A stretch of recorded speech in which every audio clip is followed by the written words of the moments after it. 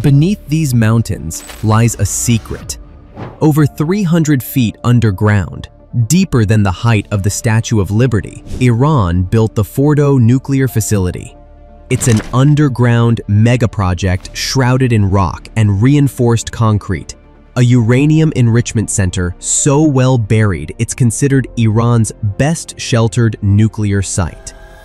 Cut to a shadowy hangar, a massive munition is being loaded. This 30,000-pound giant is the US GBU-57 Massive Ordnance Penetrator, the Pentagon's ultimate bunker buster. Its mission, to do what no other conventional weapon can. Two titans of engineering, an unbreakable underground bunker, and the world's most powerful non-nuclear penetrator. Can it actually break the unbreakable? Can one weapon shatter Fordow's fortress? America's GBU-57AB Massive Ordnance Penetrator. Weight 30,000 pounds of steel and explosive, a 20-foot spear of a weapon.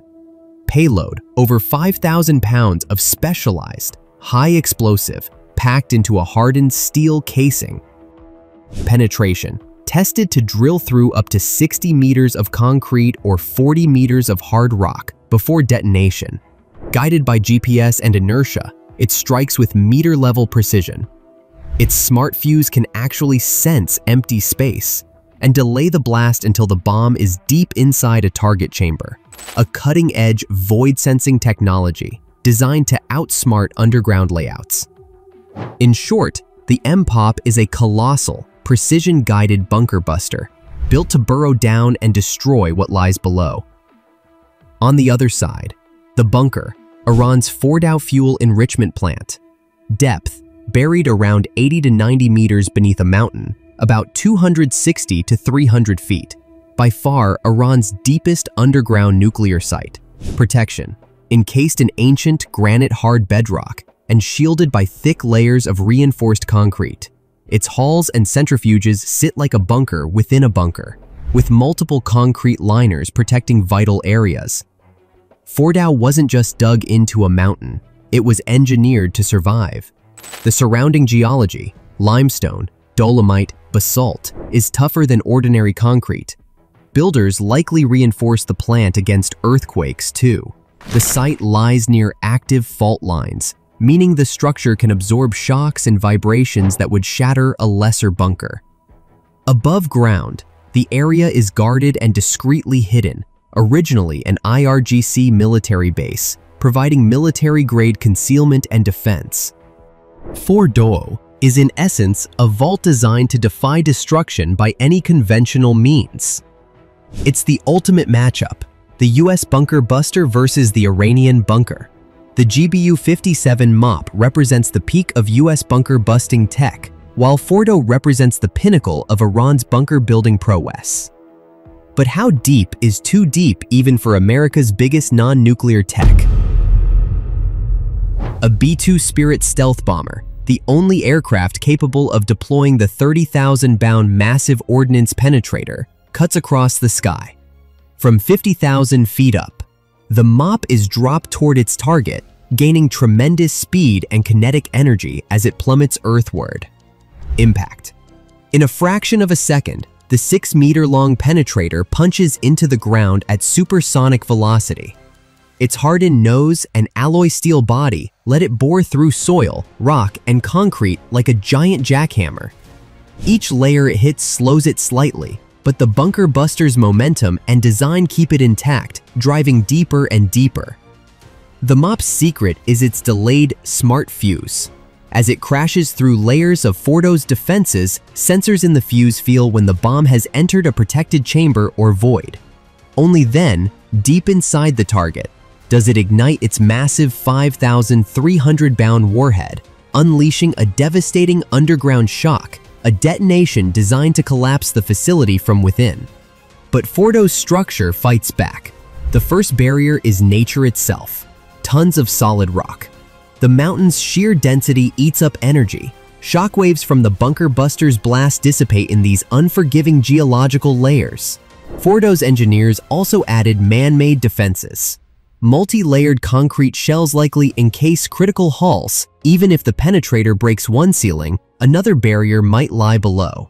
Inside, equipment could be mounted on shock absorbers, and pillars of high-strength concrete and steel add further cushioning. The surrounding bedrock isn't uniform either. It's fractured by ages of tectonic stress. Those cracks and angles can deflect a penetrating warhead off its ideal path, much like a ricochet, reducing the depth it can reach.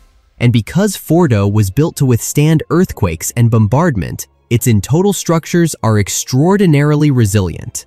Even a partial shock might not cripple the whole site. Some portions could survive or be quickly repaired. This is an engineering showdown in every sense. Extreme kinetic force versus extreme structural fortification. The MOP was designed to collapse tunnels and smash bunkers in a single blow, but Fordow was designed to be unbreachable, even by the most advanced bunker busters. Semple believe the MOP stands a chance where all other ordnance fails. Yet some experts caution that one MOP alone might still not be enough to destroy Fordow's deepest chambers. It might take not just enormous power, but also pinpoint strategy or even multiple hits to crack this vault. So, can one bomb outthink a bunker built to defeat it? Can a single massive ordnance penetrator really bring down Iran's deepest underground nuclear site? Or is Fordow simply too deep, too hardened to fall? The answer will pit physics against fortitude, and the outcome remains uncertain. Only the B-2 Spirit stealth bomber can deliver the massive 30,000-pound MOP unnoticed. Carrying just two internally, it must navigate Iran's sophisticated radar defenses, relying on stealth, terrain masking, and electronic countermeasures. Yet, precise GPS guidance leaves it vulnerable. One jam signal could mean complete mission failure, even if stealth succeeds. Can precision remain uncompromised? The smallest miscalculation, the wrong angle or timing, can cause the GBU-57 feature to deflect off reinforced rock layers or prematurely detonate, leaving Fordow partially intact and repairable. Failure risks global credibility and showcases the weapon's limitations.